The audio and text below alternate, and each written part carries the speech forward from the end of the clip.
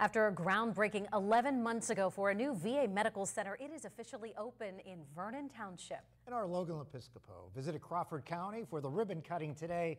He has a story on this new building and what it has to offer.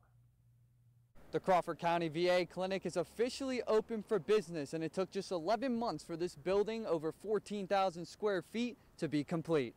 This is better than sliced bread for our veterans. From just over 6,000 square feet to an exactly 15,215 square foot clinic, over 2,400 veterans will be able to benefit from the services offered. So to start off, we have uh, cardiology. We increased our days to two days.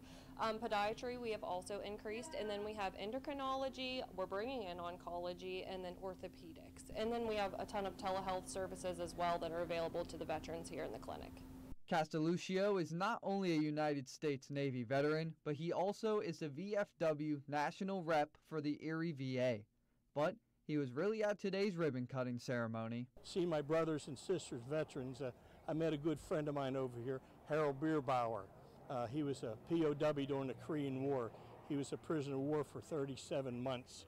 And seeing him here just made, made my day. As a veteran himself, Castelluccio wants to make sure fellow veterans are taken care of. Logan Lepiscopo, Erie News Now. Logan, thanks. And that clinic will be open Monday through Friday, 7 in the morning until 4.30 in the afternoon. Look